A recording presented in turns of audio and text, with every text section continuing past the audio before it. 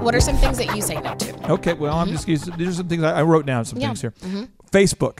Yeah. I don't ever go on it. I just, I Mm-hmm. just don't really. I mean, I Facebook to me is like, it's like a um, deal where Quicksand. It's like Yeah. time sucker. I'll black go on hole. there. It's a way for me to update the family about what I'm doing, Yes. hmm and for me to see what they're doing if I want to. Right. But I, don't that. care to discuss or. So a lot of times people will write something hateful on a post I make, Yeah. and my response is I defriend them all. Yeah. haters. Anytime, and even about if anyone even disagrees, I just def- yeah. them. I don't even shake the haters off. I Just, just- be done. Keep the bus rolling. Boom, boom. because to me it's like to tell my dad what Yeah, I'm doing today. Right, right. And I get that because I don't live near my family, and Yeah. so it's nice to see. Oh, look at Yeah. my little nephew. Look what he's And then doing. there's a little bit of like Mm-hmm. I love myself and I want to talk about myself. I'm not into that part, but I limit myself to like a few minutes. I'm like, I can't take much more than that. Here's what I'm eating. It's oh, I don't do that very much, Yeah, but you know. yeah, all right. Now the second thing is is TV. I don't watch TV. Yeah.